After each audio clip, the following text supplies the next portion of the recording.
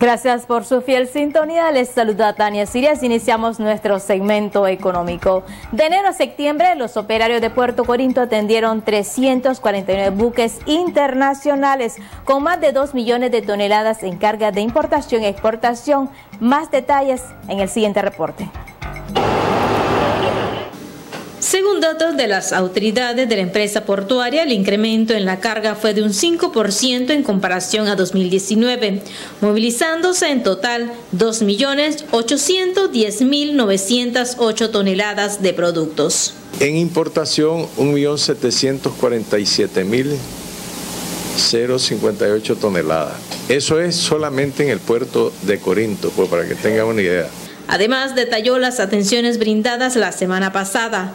Tres barcos trajeron 564 contenedores de importación con cebolla, avena, artículos ferreteros y productos químicos.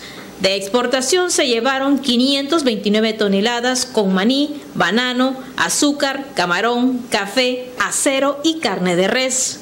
También atendimos dos buques tanqueros que trajeron 9.892 toneladas de diésel y 5.705 toneladas de gasolina. Atendimos 15.597 toneladas de producto líquido.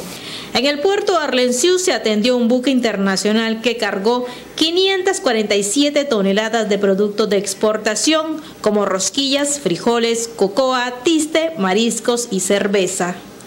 En el puerto de Bluefield se atendió el Charlotte que venía de Costa Rica con tránsito al puerto Arlen Ahí también en el barco Hilario Sánchez, que tiene la ruta de Bluefield a Corn Island, se atendieron 343 pasajeros en la ruta. En Puerto Cabezas, en el Caribe Norte, se atendió la nave Lady Night con 78.200 libras de mariscos, las cuales fueron exportadas hacia los Estados Unidos.